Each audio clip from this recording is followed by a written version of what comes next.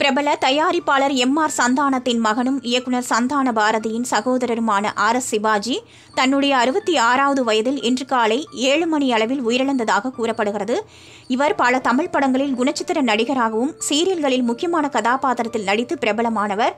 R S Sivaji கடந்த ஆயிரத்தி தொள்ளாயிரத்தி எண்பத்தி ஒன்றாம் ஆண்டு தன்னுடைய சகோதரர் சந்தான பாரதி இயக்கத்தில் வெளியான பன்னீர் புஷ்பங்கள் திரைப்படத்தின் மூலம் குணச்சித்திர நடிகராக தமிழ் சினிமாவில் அறிமுகமாகி தொடர்ந்து பல சூப்பர் ஹிட் படங்களில் மிகவும் யதார்த்தமான நடிப்பை வெளிப்படுத்தி ரசிகர்கள் மனதில் நீங்கா இடம் பிடித்தவர். இவர் மதுமலர் மீண்டும் ஒரு காதல் கதை Vikram Apoorva Sagodharargal Guna Vietnam colony Pavithra villain Anbe Sivam உள்ளிட்ட நூற்றுக்கும் மேற்பட்ட படங்களில் நடித்துள்ளார். நடிகராக மட்டுமின்றி துணை இயக்குனர் சவுண்ட் டிசைனர் லைன் புரொடியூசர் என பன்முக திறமையோடு விளங்கியவர் ஆர் எஸ் பாரதி.